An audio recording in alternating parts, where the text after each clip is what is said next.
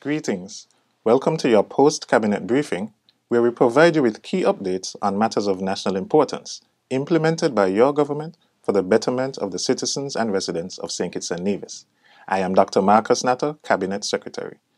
The Cabinet Ministers met under the chairmanship of the Prime Minister, the Honorable Dr. Terrance Drew, on Monday, January 30th, 2023, and made several significant decisions to improve the well being of our people.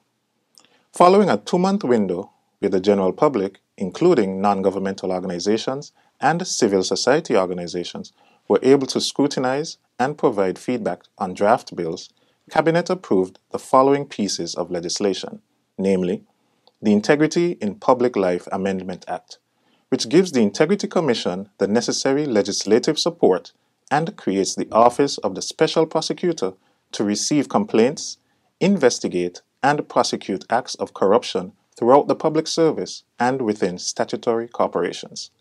The Anti Corruption Act, which creates criminal offenses of corruption, seeks to protect whistleblowers, and gives the special prosecutor powers to not only prosecute offenders, but to seek recovery of proceeds of corrupt activities.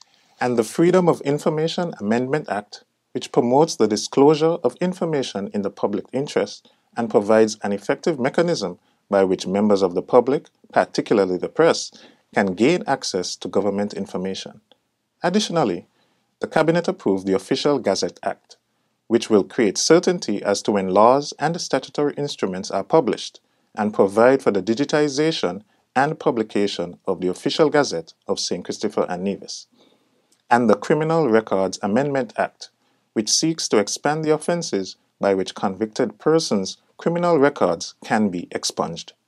These approvals represent the St. Kitts Nevis Labour Party administration's seriousness and commitment to the implementation of good governance structures.